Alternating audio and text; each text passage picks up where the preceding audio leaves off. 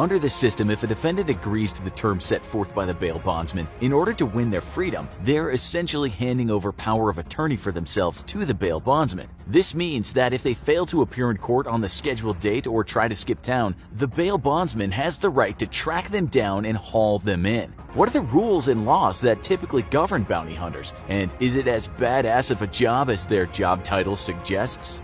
Bounty hunting is a vestige of British common law of the Middle Ages. As we discussed in a previous video, what is bail money actually for? England was the place in which the rule of law replaced what we now consider to be more archaic forms of dispensing justice, like determining if your neighbor stole your garden rake by seeing if their head resembled a pumpkin that everyone knew was haunted. Instead of cash or collateral goods, bail often took the form of an actual person, which meant that a friend or family member would put themselves forward as vouching for the person accused of the crime. The same headlines that we deplore every year.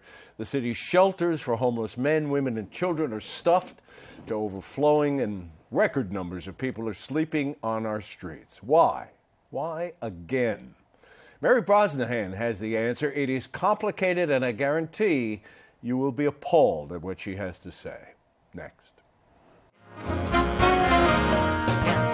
that Stephen Miller put together in that immigration fight, I think, is kind of uh, a metaphor for something else. You know, he started on the fringes of the right when he was out in liberal, growing up out in liberal Santa Monica, and absorbed a lot of the things that were starting to be said about immigration back in, in those days. And then when he got to Washington, he got to Jeff Sessions' office, he started kind of building a network of anti immigrant, nativist, populist uh, pundits, politicians, people like Tucker Carlson, Ann Coulter, Laura Ingraham, Lou Dobbs, and bringing them together into a kind of more powerful coalition that could broadcast and trumpet this message. And in the same way, he was also coalescing a kind of an ideological playbook about the crime that immigrants bring, about the way they depress wages, about how they change the culture of America and make it unrecognizable to the Americans who were born here.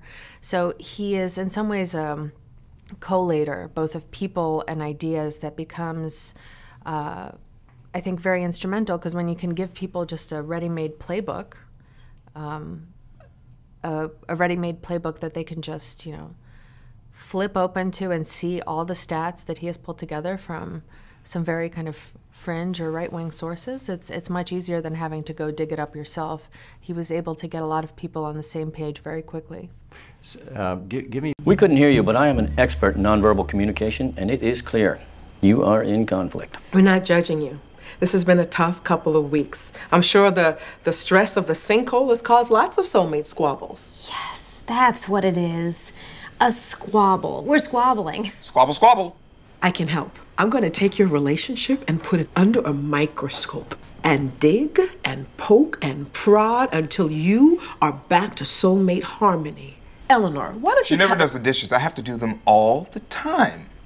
We just have different interests. Mm-hmm. I like relaxing. He likes getting on my case about the dishes. I'm getting a lot of repressed anger. I suspected this when I arrived, but now I'm sure.